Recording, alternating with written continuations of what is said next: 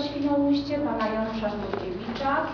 Witam przewodniczącego Rady Miasta, pana Pawła Cójkę.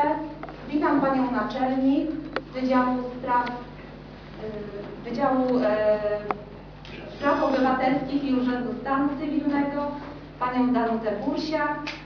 Witam czcigodnych naszych drogich jubilatów, państwa Lilę i Jerzego Rosiaku oraz państwa Henrykę i Stefana wie pokrótce sylwetki naszych czcigodnych jubilatów. Państwo Lila i Jerzy Rosiakowie związek małżeński zawarli 7 października 1961 roku w Świnoujściu. Do Świnoujścia przyjechali na początku lat 50. Wychowali jedno dziecko, mają dwoje wnucząt.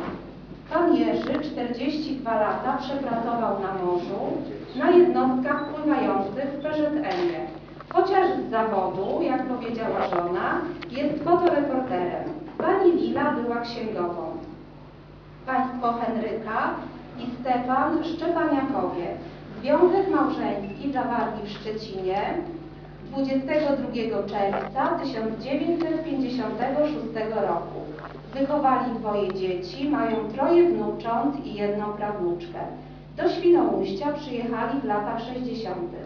Pan Stefan pracował w kapitanacie portu, pani Henryka pracowała w sklepie. Bardzo proszę o zabranie głosu pana prezydenta.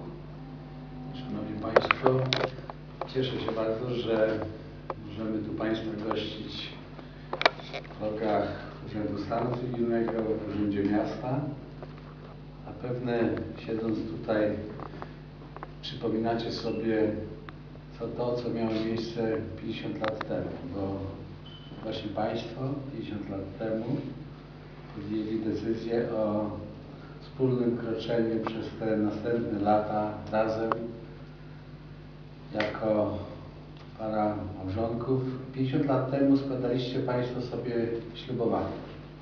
Ślubowaliście w Urzędzie Stanu Cywilnego, że od tej właśnie chwili będziecie razem kroczyć, budując własne szczęście, własne rodziny, ale to zawsze podkreślam, budując również Mam